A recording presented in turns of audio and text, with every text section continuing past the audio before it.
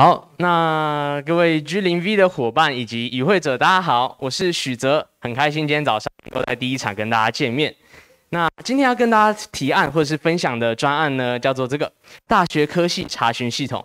想必啊，在这边看到了许多，我刚看到年年纪看起来大家其实蛮接近高中生的，所以我觉得大家对大学科系这个东西，甚至是大学生，对于这个东西应该不陌生。我们可以回想一下，在高三的时候，是不是曾经有那一段时间，发现哇靠，政府怎么那么多网站，那 i o h Caligo 啊，怎么那么多什么呃大学招生委员会，哦，这太难找了吧，这个资讯都找不到。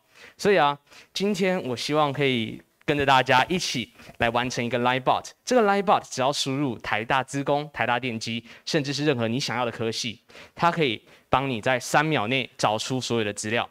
大家想必都有看过这个东西，IOH、Caligo 大学入学考试中心以及大学甄选入学委员会。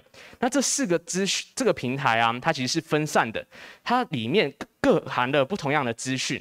那这些资讯对于学生来说都是非常重要，但是却必须要到一个网站、另外一个网站、另外一个网站、另外一个网站去找。哇，我觉得真的是有够麻烦的。所以啊，今天也就是为什么我想要做这个提案的原因。好。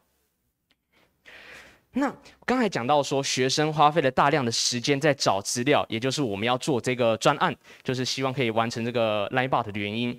身为一位高中生啊，哎，往上一点，往上，这好。那我快速带过我自己的介绍，我觉得会有三 part。第一 part 呢是创业的经历，呃，分别是我是高中生资讯网的创办人，以及 Easy 学习历程的创办人，那也是台大创创中心的校友团队，在经济日报里面有拿过创业。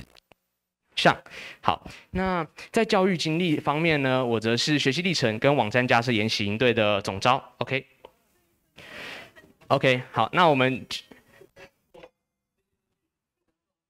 好，那我们刚才讲到说，就是做这个 Live Bar，这个 Live Bar 到底有什么用呢？它可以节省高中生的时间，究竟节省多少时间？一个科系我们要花六分钟，那如果今天变成三秒钟呢？它节省了近百倍的时间，那我们到底要怎么做呢？其实很简单，它就是用到爬虫跟 Line Bot 的结合。那究竟爬哪些资讯？这些资讯就是由政府的资料库里面提供。像是啊，我们大学到底要考多少的成绩，学测要考多好才能进入这个呃大学科系呢？就是大学甄选入学委员会里面有提供。那这个资讯，我们可以直接在输入台大资工之后，它会自己帮你找到相关的资讯。像是你要考到英文、数 A 以及自然，那你要考到顶标、前标等等。